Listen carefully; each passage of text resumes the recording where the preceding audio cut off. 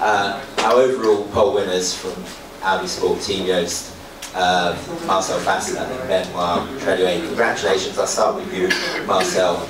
Uh, a good first couple of laps. I think you went for a third lap as well, uh, and you did the fastest lap of the weekend so far. So uh, it looked like you had the car hooked up from the word go, and it uh, went according to plan. Yeah, sure. Uh, try to push as hard as possible, and as we have seen that the third lap is quite competitive too, to the second one, to the fastest one, uh, we try to take this lap with us. I think it's quite important for the average.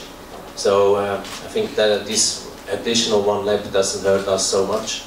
And uh, I think because the third one was definitely much faster than my very first one, this was a quite, uh, I think for me, a crucial thing to to go to finish it. Uh, onto you, Benoit. The third lap was crucial for you because after your second lap, you'd actually fallen behind uh, your your sister car, but then you pulled it out and put it back on pole. Was that uh, that was significant, I guess? Yeah, it was quite difficult. Uh, honestly, I didn't drive so much from the beginning of the weekend. This morning the car was pretty good, and uh, this afternoon when I took the car, was a bit too much understeer for my type of driving. and I was driving with it and then I got the yellow flag in the first corner, first lap, second lap, and after I had to do another lap. So it was, it was a little bit stressful because uh, got so much traffic in the yellow flag, but uh, at the end we could uh, achieve that uh, pole position and lucky that Marcel did a fantastic job and uh, I'm pretty happy about the car. We still have to adjust a little bit, but it's okay. Obviously, maximising your points uh, is going to be important for you as you try to close down the gap to your teammates. Just tell us what your thoughts are for the race and what your strategy is going to be. The strategy is very simple, flat out everywhere. I mean, do you feel that the pressure is on because you literally, I mean, if you know you've got a 30 point gap to close and that's uh, that's 29. 29. Yeah, sorry, I stand corrected. No, for sure, there's it's not a lot of pressure. I mean, uh, it's our sister car, and the main target uh, for a factory driver is to, to bring the, the manufacturer on the top of the podium at the end of the year. And uh, last year we won the championship. This year we've been a little bit unlucky at Le Mans, and uh, it's a good target, you know, and it's a good situation somehow because you just have to push like hell, and it's what we like. So uh, it's okay. It's no pressure. Okay, moving moving on to our LMP2 pole winners, Mike Conway and John Martin from G, G Drive Delta ADR. That's, that's a bit of a mouthful, but uh, congrat congratulations. Uh, again, a little bit of a close battle with the Pecom car uh, on its, uh, yeah, also also an Oreca. Just tell us a little bit about your qualifying, how it went for you, Yeah, obviously, as always, a very competitive field, so um, yeah, you've got to be on it in qualifying. And uh, my two laps were alright. I thought the third one could have been quicker, but obviously over the average, I knew that I had to give John some better tyres, so um, aborted that lap and came in. And obviously John put in two good laps as well, uh, enough to get us to P1. So um, yeah, the car's been good from the outset, really. It's um, you know hard to know what people do with tyres, different compounds, stuff like that. So we'll find out, I'm sure, during the race. But um, pretty happy with what we have and I think we'll be good, good tomorrow. And um, a big thanks to all the team, ADR Delta and G Drive for um, giving us a good car.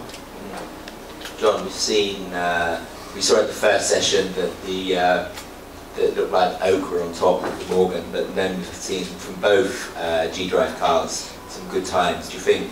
Do you think the team has now sort of hit the sweet spot with the setup, and you're going to have a good race tomorrow? Uh, yeah, I hope so.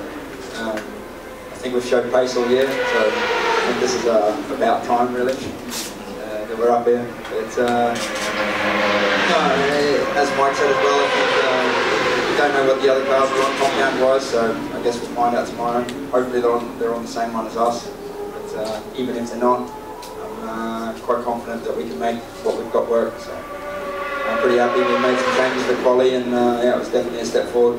So looking forward to the race now everyone's talking about double stinting, or rather everyone's asking if it's possible. What are your thoughts about that? Um, yeah, maybe not early on, but yeah, as the race goes on, yeah, possibly. Okay. I'm going to switch to the other end of the table now. Sorry, I forgot.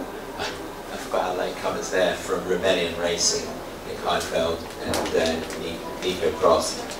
Uh, Nick, uh, congratulations, but obviously a one a one car class. Uh, I mean, I mean, you're not quite as close to the factory cars as you have been earlier in the season. Is there a little bit of a disappointment there? No, there's no disappointment. I don't know how much development goes uh, on the factory teams at the moment. Obviously, we don't have. We are focusing 100% on next year. There's no competition in the privateers class for us, but um, it's interesting from the perspectives that we can try things that we normally wouldn't because there's not so much competition. We just try different setups, and that's what we did here this weekend, which was quite interesting. We found something that was better and um, not usual. We did a bigger change for, for quali, but um, the car was still still not too bad.